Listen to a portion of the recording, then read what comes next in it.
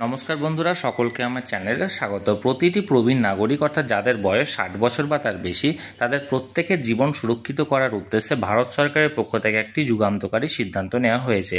এবার থেকে প্রতিটি প্রবীণ নাগরিককে আটটি সুযোগ সুবিধা দেওয়ার কথা ঘোষণা করা হয়েছে ভারত সরকারের পক্ষ থেকে এবং এই সুযোগ সুবিধাগুলির ফলে তাদের জীবন আরও বেশি সচ্ছল হবে, এটি আশা করা যাচ্ছে।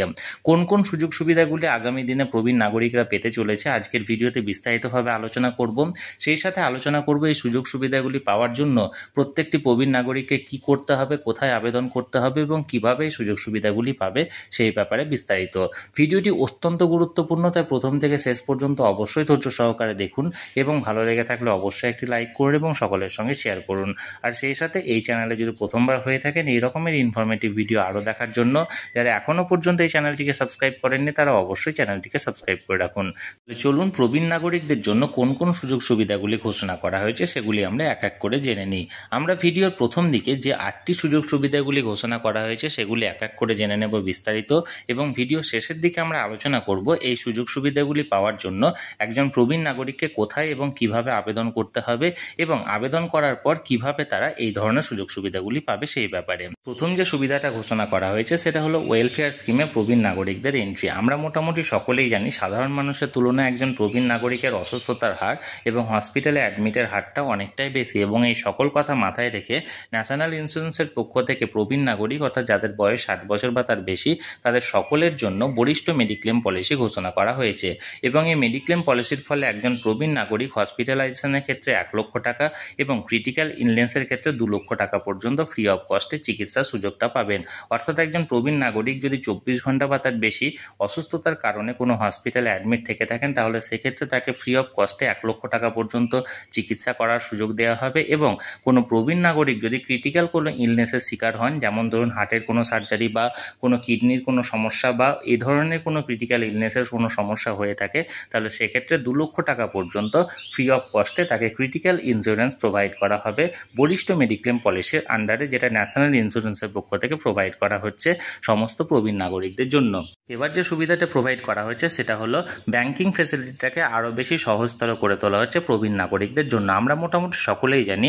সাধারণ নাগরিকদের তুলনায় ব্যাংকের যে কোনো ডিপোজিটের ক্ষেত্রে একটি প্রবীণ নাগরিক অন্ততপক্ষে point five percent higher interest পেয়ে থাকেন। এবার সে হায়ার ইন্টারেস্টের পাশাপাশি একজন প্রবীণ নাগরিক চাইলে ডোর স্টেপ ব্যাংকিং ফেসিলিটির জন্য আবেদন করতে পারেন। অর্থাৎ এক্ষেত্রে একজন নাগরিকের বয়স যদি সত্তর বছর বা তার বেশি হয়ে থাকে এবং তিনি যদি ব্যাংকে যেতে অসমর্থ হয়ে থাকেন এবং তার কোনো ট্রানজ্যাকশানের প্রয়োজন থাকে, তাহলে সেক্ষেত্রে তিনি ডোর স্টেপ ব্যাংকিং ফেসিলিটির জন্য আবেদন করতে পারেন এবং এক্ষেত্রে ব্যাংকের তরফ থেকে লোক তার বাড়িতে এসে তার হয়ে নির্দিষ্ট ট্রানজ্যাকশানগুলি তার বাড়িতে বসেই করাবে এবং এর জন্য কোনো রকম কোনো চার্জ সেই প্রবীণ নাগরিককে দিতে হবে না।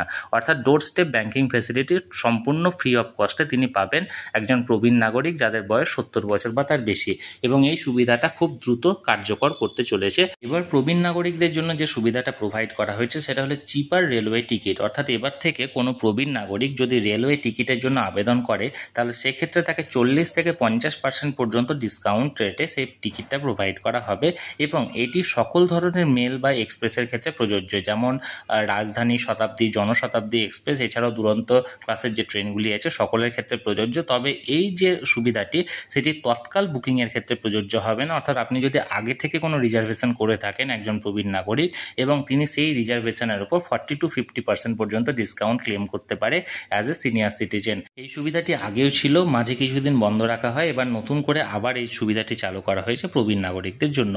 এবার যে সুবিধাটি ঘোষণা করা হয়েছে সেটা হলো চিপার এয়ার ট্রাভেল টিকিট অর্থাৎ কোনো প্রবীণ নাগরিক যদি এয়ার ট্রাভেল করেন, অর্থাৎ কোনো মানে ফ্লাইটের টিকিট বুক করেন, তাহলে সেক্ষেত্রে তাকে ডিসকাউন্ট প্রোভাইড করা হবে। তিনি যদি এয়ার ইন্ডিয়ার কোনো টিকিট বুক করেন এবং ডোমেস্টিক ট্রাভেল করেন, অর্থাৎ অল ওভার ইন্ডিয়ার মধ্যে কোনো ট্রাভেল করেন এবং তার বয়স যদি তেষট্টি বছর বা তার বেশি হয়ে থাকে, তাহলে সেক্ষেত্রে তিনি ফিফটি পার্সেন্ট পর্যন্ত ডিসকাউন্ট ইকোনমি ক্লাসের টিকিটের ক্ষেত্রে পেতে পারেন। এছাড়াও জেট এয়ারওয়েজেও যদি তিনি ডিসকাউন্টের জন্য আবেদন করেন, তাহলে সেক্ষেত্রে তাকে পঁয়ষট্টি বছর বা তার বেশি বয়স হতে হবে। এবার এক্ষেত্রেও তিনি ডোমেস্টিক ট্রাভেল উইথিন ইন্ডিয়ার মধ্যে ফিফটি পার্সেন্ট পর্যন্ত ডিসকাউন্ট অ্যাভেল করতে পারবেন। অর্থাৎ এয়ার ইন্ডিয়া বা জেট এয়ারওয়েজের মতো যে সমস্ত নামী সংস্থাগুলি আছে, তাদের এয়ার টিকিটের ক্ষেত্রে ইকোনমি ক্লাসের যে টিকিট সেক্ষেত্রে ফিফটি পার্সেন্ট পর্যন্ত একজন সিনিয়র সিটিজেন অ্যাভেল করতে পারেন ডিসকাউন্টের অর্থাৎ চিপার এয়ার ট্রাভেল টিকিট এই সুবিধাটাও কিন্তু ঘোষণা করা হয়েছে সিনিয়র সিটিজেনদের জন্য।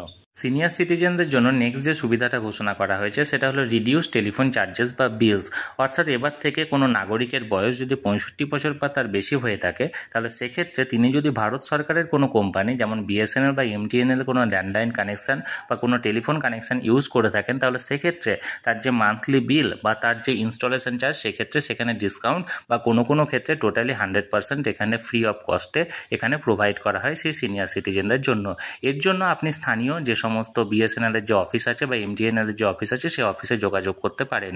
সিনিয়র সিটিজেনদের ক্ষেত্রে এবার নেক্সট যে সুবিধাটা দেওয়া হয়েছে, সেটি হলো ইনকাম ট্যাক্স বেনিফিট অর্থাৎ একজন সাধারণ নাগরিকদের তুলনায় একজন সিনিয়র সিটিজেনকে অধিক মাত্রায় ইনকাম ট্যাক্সের রিবেট দেওয়া হয়েছে।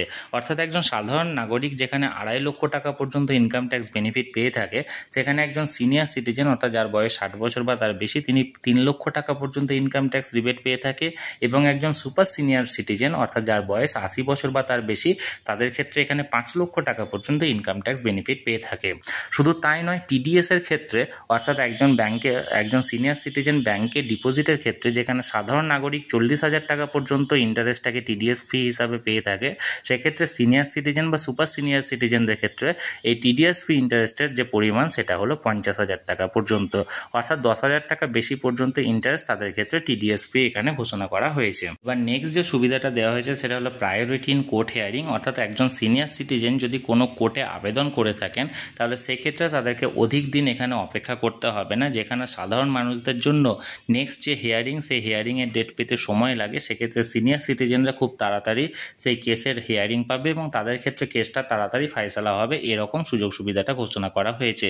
এরপর এছাড়াও যে ইজিয়ার পাসপোর্ট ফেসিলিটিও ঘোষণা করা হয়েছে, অর্থাৎ একজন সিনিয়র সিটিজেনরা যদি পাসপোর্টের জন্য আবেদন করে থাকে, তাহলে সেক্ষেত্রে, তার ক্ষেত্রে যে ভেরিফিকেশন সে ভেরিফিকেশান প্রসেসটা বেশি লং করা হবে না, অর্থাৎ দীর্ঘ করা হবে না।